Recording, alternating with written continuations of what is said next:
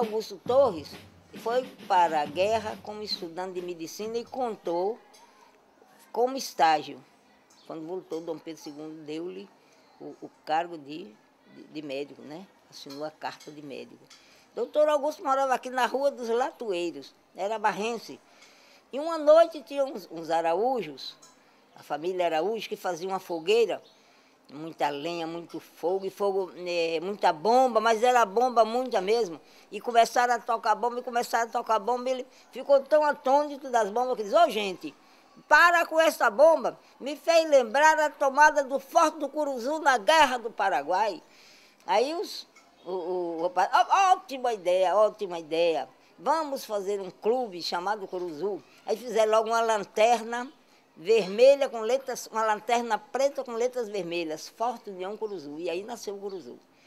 Nasceu o Curuzu, ficou só dominando, dominando a cidade, dominando a cidade. Era essa gente toda, esses marianos, essa gente toda daqui da, do centro e da, das pontas de rua, das periferias, era Curuzu. Fazia o um mastro aqui na praça, vermelho e preto, aquela animação. Um dia até morreu, um, um, nas bombas, caiu e o povo pisoteou, morreu. Um desses rapazes da família Araújo, uma gente muito boa, muito bonita. Mas então depois surgiu o Maitá amarelo, verde amarelo. Verde amarelo, esse Maitá, o pessoal lá de cima, do Eliso Mourão, as Pires, essa outra gente, criaram o Partido Maitá. Aí ficaram com é, uma contenda entre os dois, né? Dois amigos na luta. E tanto que, aí quando eles lutaram, lutaram, apareceu o Riachuelo nesse século. O Riachuelo vermelho e branco. Apareceu nesse século. E aí o Riachuelo, quando o Riachuelo apareceu, Maitá, mas o Curuzu se uniram. A coisa mais linda do mundo era o encontro do Maitá com o Curuzu ali na, na, na Avenida 2 de Julho. Porque o Maitá, o, o maço do Maitá é lá na avenida. Quando ele saía, encontrava com o Curuzu e fazia uma guerra simulada uma guerra simulada de tiro, como se fosse lutando mesmo.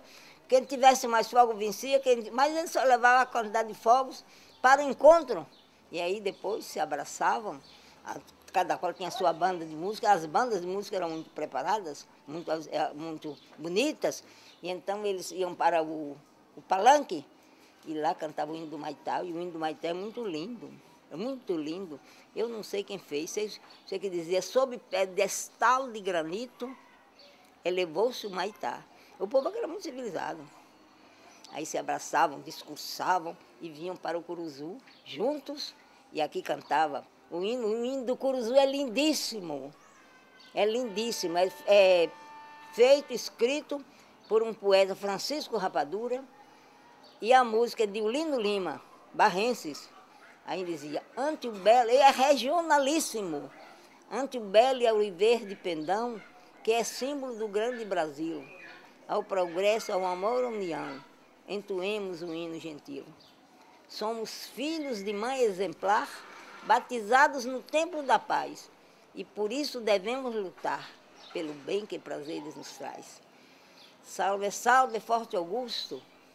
Salve, salve, forte Augusto.